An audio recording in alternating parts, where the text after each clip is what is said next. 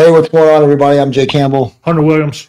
We are here making another video. If you're paying attention to the channel and his channel, we're doing a lot of stuff together here in 2024 to maximize and optimize our YouTube presence. So today's video is our favorite peptide to build muscle, you know, actual fucking muscle, not like the people Real muscle. that have no muscle on, you know, Instagram and YouTube. You know, it'd be a good video one day if we could do is the influencer challenge. Like all the people that are have huge followings. Let's do the uh, shirtless. take the shirt off challenge. Yeah. influencer challenge to actually see who talks the talk and walks the walk. All right, so our favorite peptide for building muscle, without question, this is an easy answer.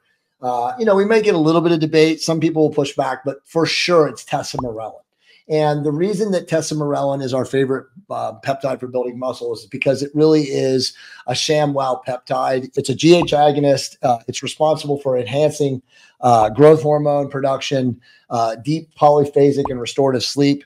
It's you know number one thing that most people know it for that have used it is its ability to tear through abdominal fat. Right? I mean, this is a drug that has been approved by the FDA. Its uh, trade name is Egrifta. And it's literally created for gay men, or I shouldn't say gay men, but men that HIV, have HIV, yeah.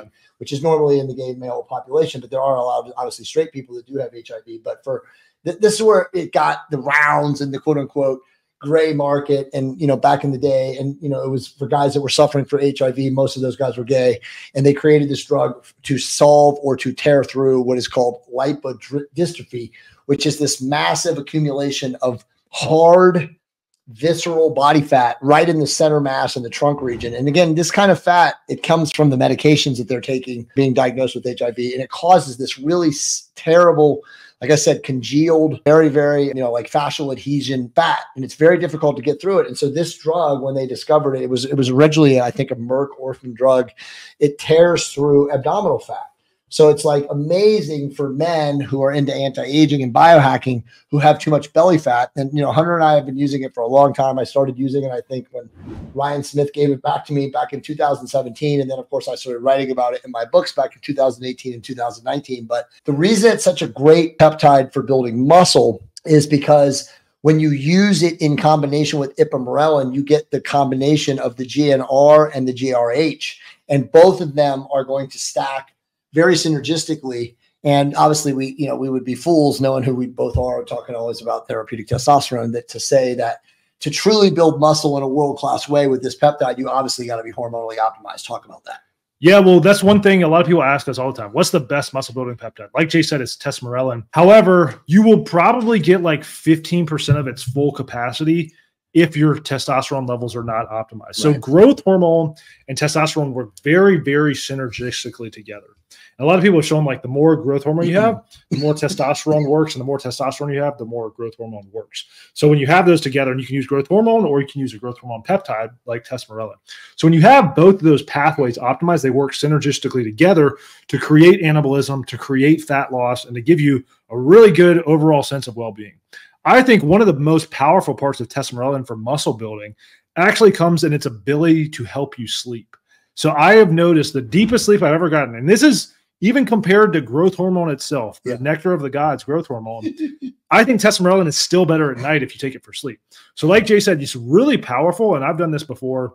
Uh, experimented experimented myself with taking uh, ipamorelin or regular growth hormone in the morning, and then tesamorelin at night. Yeah. and I really like that combo because you get the lipolysis from like the ipamorelin or growth hormone.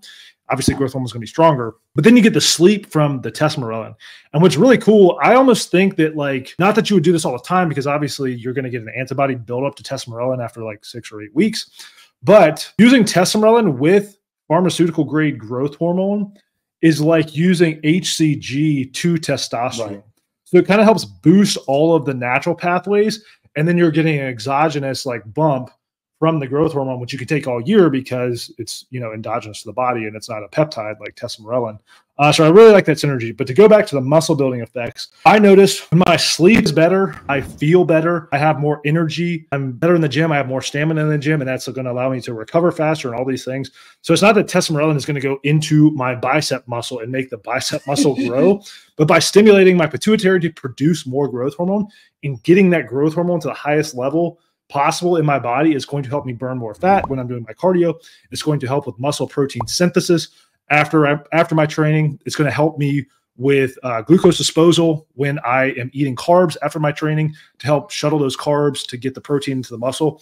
Um, so it's amazing. And if you can get real tesamorelin, which a lot of the research companies are selling now because we know some of them aren't. I won't name names, but if you can get real tesamorelin, it's an amazing thing to take. And you just have to make sure you cycle it because, you know, like we said, after four, six, eight weeks, you're going to get antibody buildup, which kind of sucks because like the first week you take it is like, bam, wow. like it's so powerful.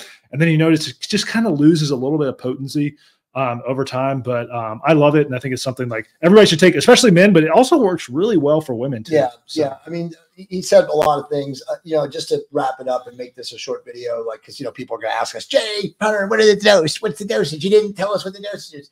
The standard dose for tesamorelin is one milligram AM and one milligram PM. Now, for women, it's probably one milligram. And I, and, and again, as you and I will always counsel people, uh, it's better if you're taking one milligram of tesamorelin to take it at night. Again, mm-hmm. to improve, to, yep. because of the improved restorative and polyphasic sleep, which is again the, the deepest levels of sleep, the REM levels. Uh, but to not forget, because again, you know, people get confused. You're not going to build muscle regardless of what anabolic agent you take, whether it's therapeutic testosterone, growth hormone, tesamorelin, ipamorelin, and and by the way, all three of those things, tessa, growth, and testosterone together, as he said, are the ultimate combination to build muscle. But the only way you're going to build muscle is with a surplus of calories, right? Mm-hmm. So it's mm-hmm. like we always have to, you know, temper everybody's enthusiasm and tell you there's no magic bullets or agents, and there's no fat loss or ripping drugs or muscle building drugs, right? They're any better. Everything is relative yeah. to caloric intake, right? So it's like if you want to build muscle, well, yeah, we recommend you use tesamorelin, testosterone, and growth hormone. And if you can only, you know, do, do two of those um, together, and you can't get growth hormone, then just use test and testosterone. But again, it's relative to your food intake. So if you are a average bodybuilder slash physique uh, enthusiast or performance enhancement enthusiast, biohacker, aging biohacker, and you are at 15% body fat, and you want to build muscle, then guess what? You're going to add a little bit of body fat right? So how do we do this? We're not getting into a you know a dietary uh, diatribe here in this video, but you're going to eat above maintenance, and a normal place to eat above maintenance to start to add muscle is somewhere between 12 and 20 percent caloric intake above whatever your maintenance intake. Jay Hunter, how do I figure out my maintenance intake? That's pretty simple too. We normally just tell you to take whatever your body weight is and times it by 15 and then go up above, depending on your body type, your somatotype. Are you a mesomorph, endomorph, ectomorph? You can scale that, right? If you're a mesomorph and you're a super muscular person, you can probably eat higher than 15 calories per pound. If you're a endomorph and you're a naturally fat, heavier set person, you can't because you're going to gain more fat than you're going to gain muscle. So that's simple. We're going to wrap this up again. Tessa Tesamorelin, one milligram AM, one milligram PM at night. If you're a man, if you're a woman, one grill, one milligram at night before you go to bed as Hunter said, combine it with low dose uh, growth hormone. Again, pharmaceutical grade, not bodybuilder bro growth hormone, but like genotropin or norditropin, or either, you know, there's other pharmaceutical growth hormone approximations out there. And if before you ask that, you know, we like one IU to 1.5 IUs to two IUs. A lot of people will split a couple IUs up a day. This is not bodybuilding we're talking about. We're obviously talking about anti aging and life extension. So, again, low doses start low, go slow, assess your tolerance. But again, that tesamorelin in combination with growth hormone or in combination with ipamorelin with above maintenance caloric intake is going to build muscle better than anything else. Yeah, 100%. Like Jay said, it's got to be calories. Most of the time, you know, especially a lot of women, they don't realize what a caloric surplus actually means. And you will not be able to take a peptide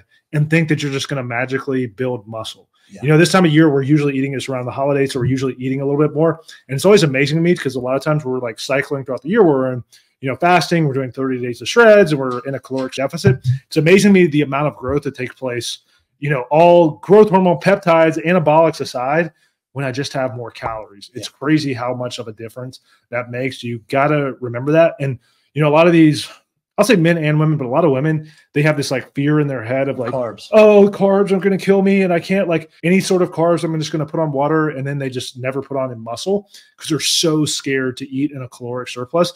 The great thing about using tesamorelin is it's going to help you build muscle, but it also works to help shuttle those carbs yeah. into the muscle more efficiently. So I would say, as long as you're training and doing cardio right, put yourself in a caloric surplus. It's almost impossible to get fat when you're taking tesamorelin. Yeah, 100%, especially around this time of the year. So look, we're going to wrap this down.